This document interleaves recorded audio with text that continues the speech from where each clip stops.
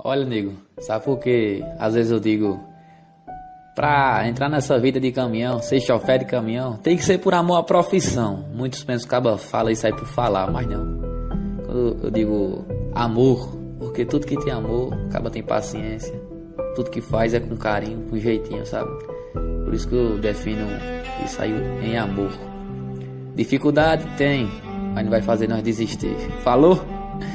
É que minha molecada que tá querendo iniciar, ingressar nessa essa vida de maluco. Eu, talvez seja um louco, mas um louco sonhador, fazendo o que gosta e amando o que faz, né? E quando você começar, quando você tiver aí uns 16, 17 anos, começar a sonhar, dizer eu quero ser chofer de caminhão, começar a botar vídeo nos status, começar a dizer pai, mãe, eu quero ser chofer de caminhão, botar pressão, fazer horário aquela coisa toda, né? Aquele sonho, aquele, aquela empolgação toda. Muita gente vão começar a rir do cabo, criticar, dizer, tu é doido, bichão? Tu quer entrar no ramo desse aí? Dá dinheiro não, bicho. Procura outra profissão. Aí você vai se esforçar. Você tem que acreditar em você, não é ninguém não. Tem que ser seu fã, que eu digo e repito. Porque na dificuldade quem está com você é você, quem está na vitória é você e você.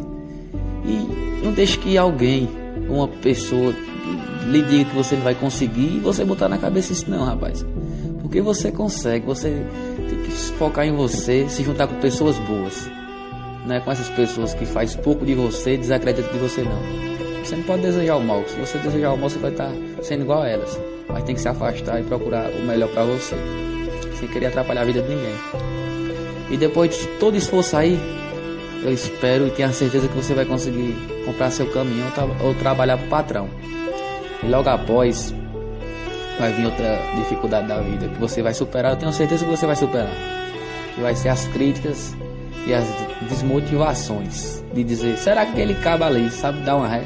Será que ele sabe fechar uma curva? Aquele é chofé lá, sem experiência de nada.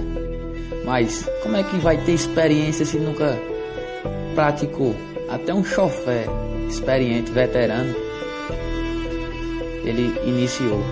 E toda a experiência que ele tem foi de, da prática. Então vai ter muito sair, mas você vai conseguir.